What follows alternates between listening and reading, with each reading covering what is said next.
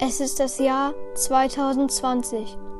Meine sichere Welt wurde auf den Kopf gestellt. Keine Freunde treffen, kein Fußballspiel mehr im Verein und Homeschooling. Sogar mein Geburtstag mit Freunden musste ausfallen. Meine Großeltern vermisse ich sehr. Ich darf sie leider nicht besuchen. Ich bin echt traurig.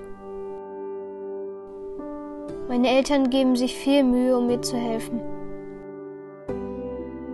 Hoffentlich ist diese Zeit bald vorbei. Hoffnung zu verbreiten ist unser Auftrag. Noch nie war es so leicht, Hoffnung zu schenken. Gemeinsam bringen wir Jesus in jedes Zuhause. Werden auch Sie zu einem Spender der Hoffnung. Helfen Sie mit, Hope TV zu verbreiten. Weitere Informationen erhalten Sie unter hopekabel.de.